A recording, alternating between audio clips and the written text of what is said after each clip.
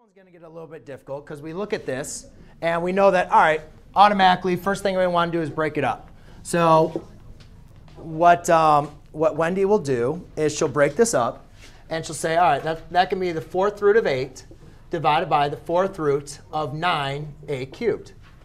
Now, you're really, really going to want to follow this, guys, because this is a little bit different than the last problem, and it might get a little confusing. The fourth root of 8. What number multiplied by itself 4 times equals 8? Do we have a value for that yet? Is anybody having a value? No, right? I, I don't know. There's no even number that works for that. Then we try to simplify the fourth root of 9a cubed. Well, what number multiplied by itself 4 times gives you 9? Don't have one. What number multiplied by itself 4 times gives you a cubed? Don't have one, right? So then you could say, all right, well, we're done. But do we ever leave a radical in our denominator? No, right? What happens when we had an answer that looked like this? Does anybody remember what the next step page, do you remember what you do? If, if, I, if you did a problem in a test and you got an answer like this, do you remember what you had to do? No? Zach, do you remember? Kevin, do you remember? Multiply, Multiply what? Square root of 2, right? You can, we, don't, we don't want to divide by an irrational number. So we worked on rationalize the denominator. So we multiplied by square root of 2 over square root of 2. That didn't change the answer. What it does is just changes the fraction.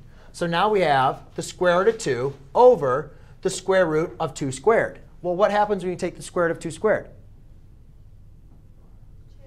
You get 2, right? You don't have a square root anymore. Okay? So therefore, you're not dividing by an irrational number, which is cool. So the problem over here, you might say, is, well, then what do you think you'd want to multiply by, Japonica, if I was just going to make a random guess? What do you think you'd want to multiply this by? Well, the fourth root, because we're doing fourth roots. So you want to do the fourth root of 9 a cubed, right? Following what you did here, that makes perfect sense, correct? And I need to everybody to listen to this, Ken, because this is where it gets a little bit tricky. This makes sense following what we learned here. But here's where it's going to change. Guys, when I multiply this across, I get the fourth root of 8 times 9a cubed. Then I have the fourth root of 9. 9 times 9 is 9 squared. And a cubed times a cubed is a to the sixth. Can you take what number multiplied by itself four times gives you 9 cubed, 9 squared? Do we have that yet? No. What mul number multiplied by itself four times gives us a to the sixth? Well, we can actually can simplify that. But um, actually, no, we can't. We can't multiply that by a product of 4. So ladies and gentlemen, what we need to get, we need to get these numbers raised to 4 or a multiple of 4. Rather than multiplying it by 9, does anybody have an idea that could get us to 9 to the fourth power? So if we already have 9 here, or we already have 9 here, I, what do I need to multiply this by so it's going to be 9 to the fourth power? Anybody?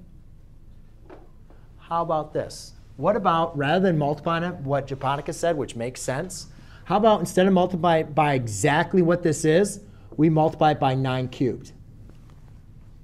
Why would you want to multiply it by 9 cubed? Well, let's look at it. What's 9 times 9 cubed? 9 to the fourth power. Can we now simplify the fourth root of 9 to the fourth power? Yes.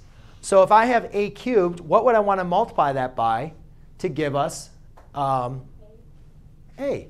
So let's just multiply this by a. Right? Because now a cubed times a gives us a to the fourth power. Can I now simplify the fourth root of a to the fourth? Yeah, of course.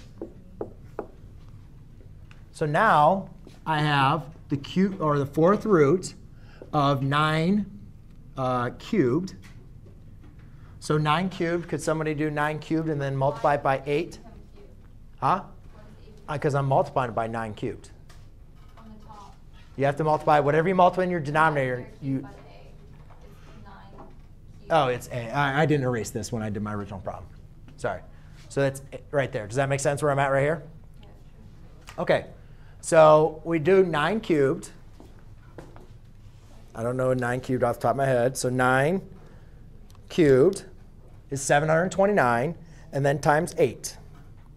All right, and then I'm just going to go and check to see if I can take the fourth root of that, which I can't.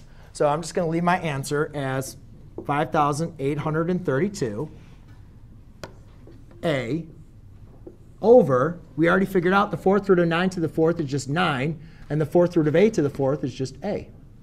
Now, we might be able to simplify this further, but for right now, I don't, I don't have the answer right in front of me to go through this. But you might want to see if there's any numbers, fourth rooted numbers, that you can divide into that. But I'm pretty sure that's going to be your uh, finalized answer.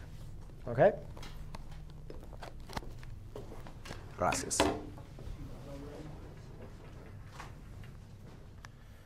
OK, almost done.